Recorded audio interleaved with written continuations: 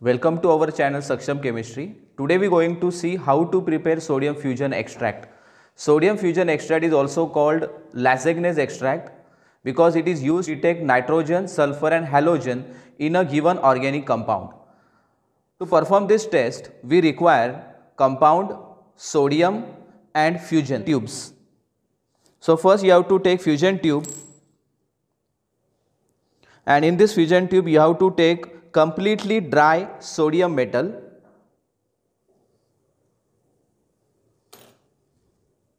Make sure the sodium metal goes into this tube. Then you have to fuse this on a burner. After fusing for few few minutes you have to add compound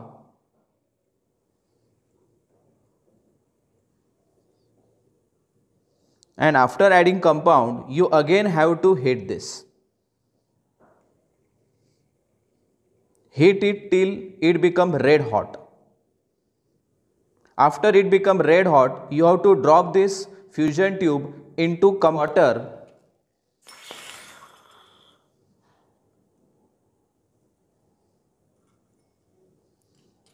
you have to perform this again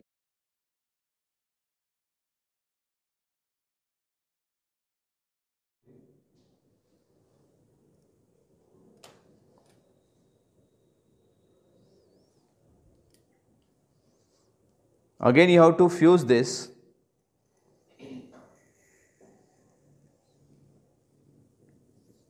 You have to take small amount of compound. Heat till red hot and drop it in a water.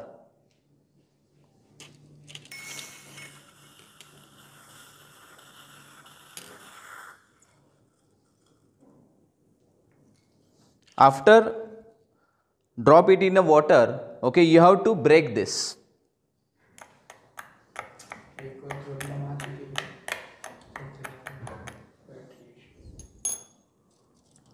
After breaking this you have to keep it for boiling. And boil it for at least 5 to 10 minutes. After boiling for few minutes you have to keep this aside for cooling.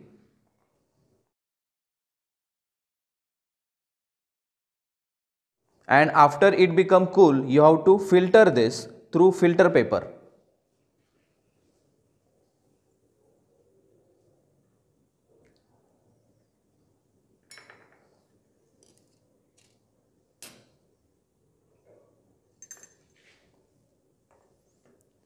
Here you get clear solution and this clear solution is called sodium fusion extract. Now we have to use this sodium fusion extract for the test of nitrogen, sulfur and halogen.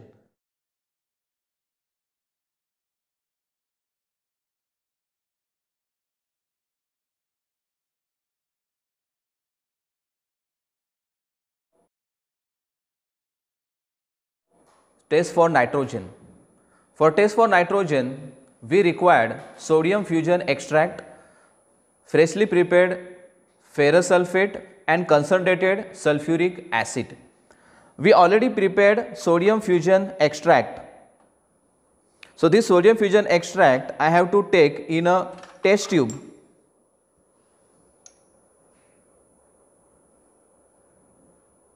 And in this test tube, I have to add freshly prepared ferrous sulfate. So, here I am going to add small amount of freshly prepared ferrous sulfate. After addition of ferrous sulfate, you have to boil this. After boiling, you have to add concentrated sulfuric acid into this.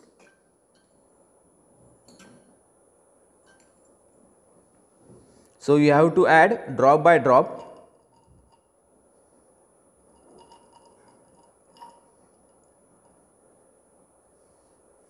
After addition of concentrated sulfuric acid, you can see the blue color. This blue color indicates that nitrogen present in given organic compound. Now, who is responsible for this blue color? When sodium carbon and nitrogen, it will form sodium cyanide. And sodium cyanide reacts with ferrous sulfate and concentrated sulfuric acid. It will form ferric ferrocyanide complex. That complex is of blue color.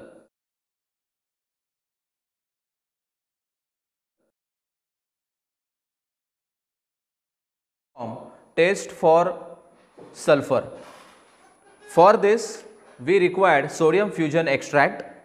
So, sodium fusion extract first I have to take in a test tube and in this I am going to add acetic acid. Acetic acid should be dilute. After addition of dilute acetic acid, next is addition of lead acetate. After addition of lead acetate, you can see black color precipitate form.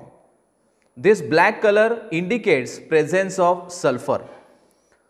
Now what is responsible for this black color and how it will form? When sulfur present in an organic compound, it will react with sodium to form sodium sulfide. And that sodium sulfide reacts with acetic acid and lead acetate to form black color lead sulfide precipitate.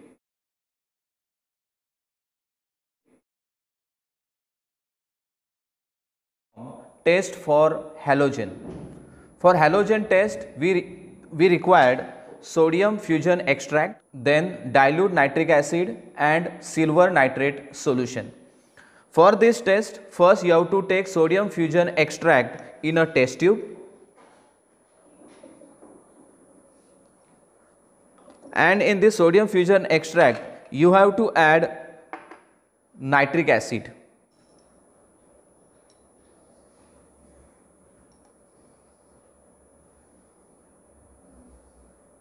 After addition of nitric acid, you have to add silver nitrate solution.